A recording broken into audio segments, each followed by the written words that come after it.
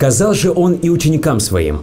Был один богатый человек, имевший домоправителя, на которого ему донесли, что он расточает его состояние.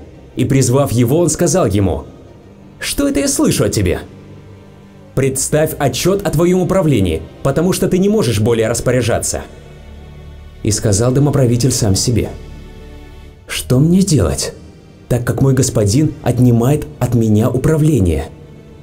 Копать не могу, просить стыжусь. Знаю, что сделаю, чтобы они приняли меня в свои дома, когда буду отстранен от управления. И призвав поодиночке должников своего господина, он спросил первого – «Сколько ты должен моему господину?» Он сказал, «Сто мер масла». И сказал он ему, «Возьми твою расписку и сев быстро напиши. Пятьдесят». Затем он сказал другому, «А ты сколько должен?» Тот ответил, «Сто мер пшеницы». И ему сказал, «Возьми твою расписку и напиши восемьдесят». И похвалил господин неправедного домоправителя, что он рассудительно поступил, так как сыны этого мира в своем роде более сметливы, чем сыны света.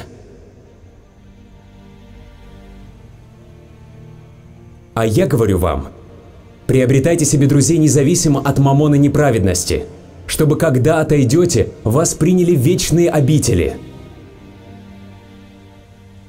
Верный в малом верен во многом – а неправедный в малом неправеден и во многом. Итак, если в неправедном богатстве вы не оказались верны, то кто вам истинное доверит?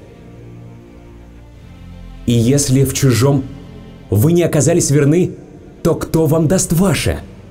Никакой слуга не может служить двум господам. Или одного будет ненавидеть, а другого любить?